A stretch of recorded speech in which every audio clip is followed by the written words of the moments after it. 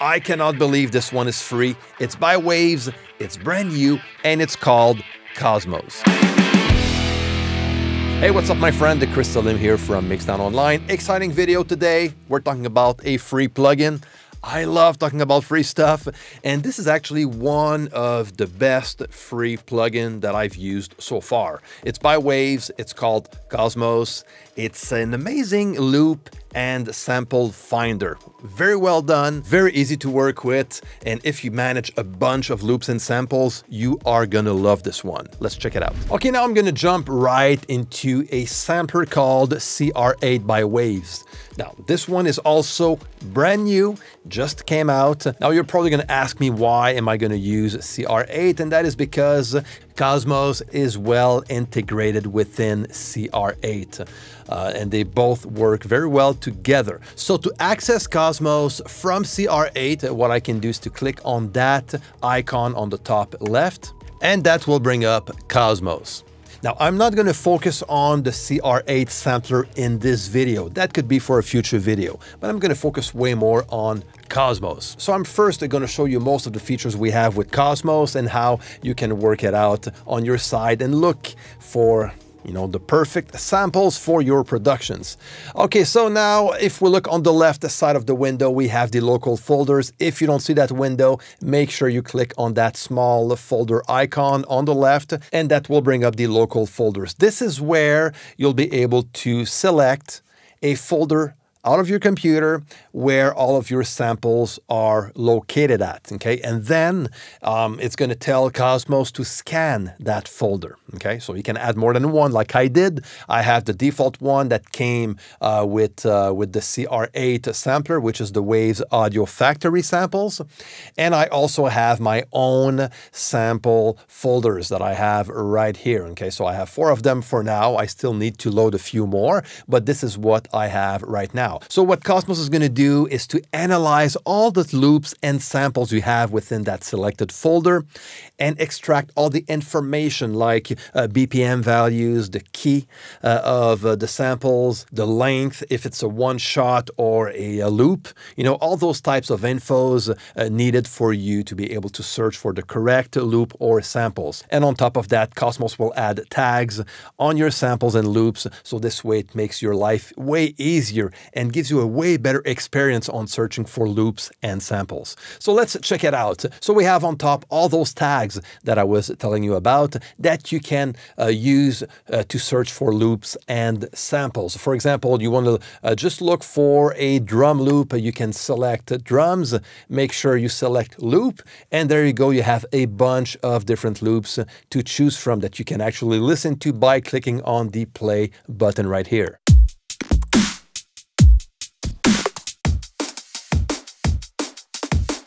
Okay, so you get the idea. And you can also add more than one tag. So let's say uh, I'm selecting drums, let's go with electronic, and then let's go with uh, dark also, and listen to what we have. All right, so that gives you an idea. So I'm going to clear this up and next, what we have right now, we are straight into the waveform view. We have three views. There's the waveform where we are at right now, and also the list uh, view. And we also have the Cosmos view, and this one is actually pretty awesome. And this is going to be very useful when searching for a good one-shot sample, uh, which you can do uh, within the waveform view and list view. But when you activate and you go straight into the Cosmos view, this is what you get. And this is quite amazing. And this is not going to work for loops, but only for one shots.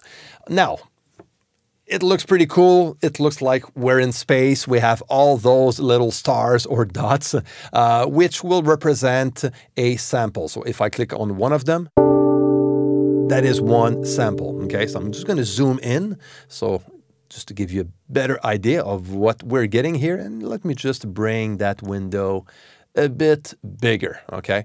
Uh, so we can actually zoom in and out if we want to. Now we have different colors right here because the way um, this uh, like visual window is sorted is by brightness, okay?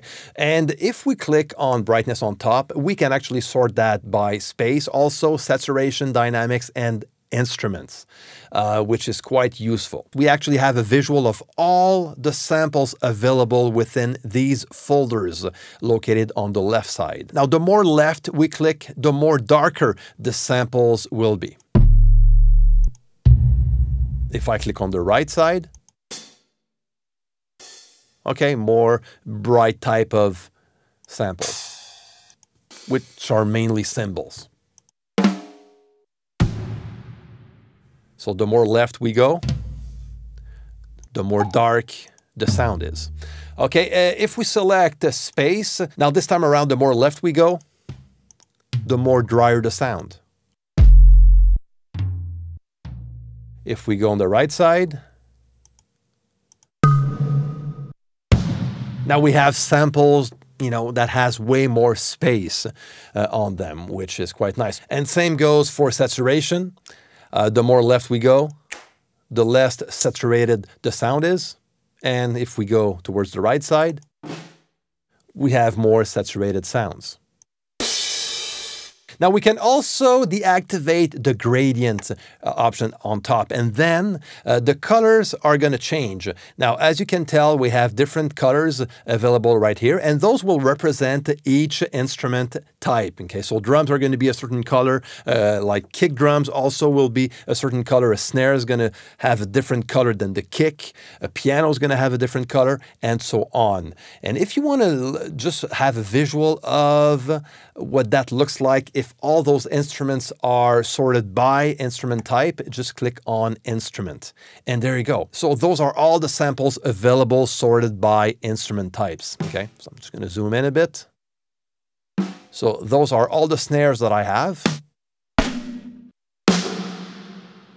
And those are all the kicks, I believe. There you go. 808s. Even vocals, I believe, right here. There you go. So, you know, super cool, super nice and easy to go and look for a specific uh, instrument type sample. Now, something nice also that you can uh, uh, you can do if you uh, let's say I'm looking for a snare sound. I can select this one and just to use my arrows, like the up and down arrows, and listen to all the samples that I have close to the initial one. Or I can just use my mouse and just drag my mouse over and listen to those samples. Now, the cool thing is that Cosmos will keep everything you do in memory, okay? So we have the history uh, option right here at the bottom right. So this way you can go back and listen to a previous sample you just listened to. And you can use your left and right arrow to do so. Okay, very straightforward. Okay, now I'm gonna look for a few things here. Let's go and build a drum groove. So I'm gonna look for a kick and let's go by brightness. And uh, I'm gonna look for kick drums. I'm gonna select the kick uh, tag. And those are all the kicks that I have. If I select the right side, those are gonna be a bit more bright and more dark on the left side. Oh, this one is cool. Okay, I'm going to use this one. Now that I'm ready to use this uh, sample, what I can do is to use the CR8 sampler by Waves. This is one option that I have. Um, and just drag it up right into the sample or just click on that arrow aiming down and it's going to go straight into a, a, sample layer that I have right here on top. Now I can add up to eight layers on this sampler, uh, which is quite nice. Now from this point on, what I'm going to do here is just to go right here on the keyboard tab and uh, bring the range to C1. So every time I click on uh, C1 on my controller, it's going to trigger the uh, kick sound. I'm going to bring the root to C1 Go back on the kick tab, click on launch so it plays the full uh, sample. And if I play my little controller on C1, I get my kick drum. Okay, now I'm gonna go back to Cosmos and this time around I'm gonna look for a snare sound. Okay, I'm looking for an electronic snare sound. So I'm gonna select electronic on top of snare. as far as the tags goes. Oh, there you go. Okay, I'm to keep this one.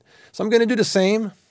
I'm to bring back my sampler, add a sample layer, and drag it right into it. And I'm going to do the same thing as I did with the previous one. And this time around on D1. And now, perfect. So now I just use the Beat Designer to write down a very simple groove here. Perfect. I'm going to keep that one. Click on Insert Pattern at Cursor and deactivate the MIDI insert. And there you go. Perfect. Let's go back into Cosmos. And this time around, I'm going to go into the waveform view. I'm going to look for a hi-hat loop. Okay, so loop is selected.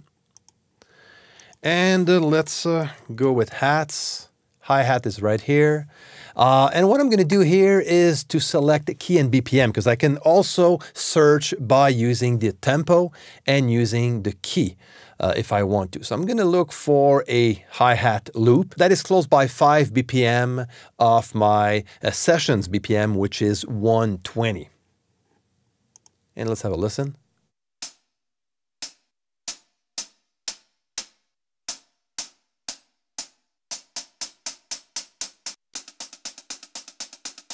All right, so I'm going to keep this one. So I'm just going to drag it straight into my session. It's going to create itself an audio track, and this is what I want. And let's change the color of that channel. And there you go. If I listen to this hi-hat groove with my uh, kick and snare, let's bring this one darker. I'm just going to add a low pass filter.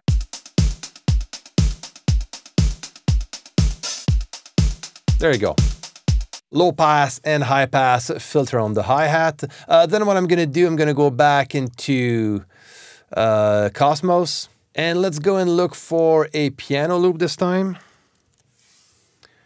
Let's go by uh, BPM also. I'm going to bring that down to plus or minus 4 BPM and listen to what I have.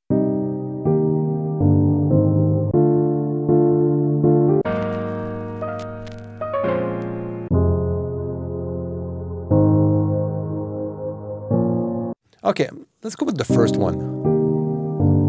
Yeah, I kind of like that one. All right, so I'm going to bring it, drag it straight into Cubase, change the color of the track, and there you go. Let's listen to what we have. This one is at 120 BPM uh, right off the bat, which is great because this is the same uh, BPM as my session.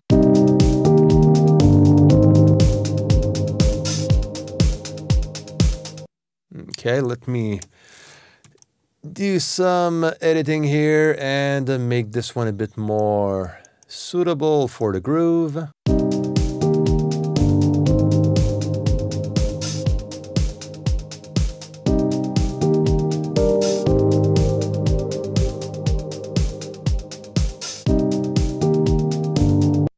That was easy, that was fast, uh, and I just came up with a pretty cool beat, you know, that I can actually use to create a new piece of music if I want to. So what I did so far was to use the uh, CR8 sampler uh, for my kick and snare. And for the hi-hat loop and uh, the piano loop, I was just able to, uh, to, to bring those out of Cosmos straight into Cubase on audio channels in a very simple way, just by dragging and dropping them right into my session. Something I can also do if I don't want to use the CR8 sampler, I can use any sampler that I want. If you use Cubase Pro, you can actually use any samples out of Cosmos, dragging that sample out straight into the sampler uh, within the lower zone of your project window, and that will create a sampler track. And you can work uh, from this point on if you want to. You can also use a drum instrument like Groove Agent uh, and just drag and drop those samples from Cosmos straight on a Groove Agent pad in a very easy way. And build your own drum kit in Groove Agent by using the help of Cosmos, which is very nice. So this is what you get with Cosmos. Amazing loop and sample finder. Love working with this tool. Increases my workflow when it comes to look for new samples and loops within all the samples that I have. So it makes it very fast uh, and focus more on the creative side than, you know, wasting time on looking and searching all around the computer uh, to get the perfect loop and sample. Okay, so check it out. Link is down below. And if you also want to check out the CR8 sampler, the intro price is at $9.99, if I'm not mistaken, just for a limited time. So check it out. Again, links are down below. Don't forget to share, like, and subscribe to the channel. If you have any questions or comments, like always, leave everything down below. Until next time, take care and see you.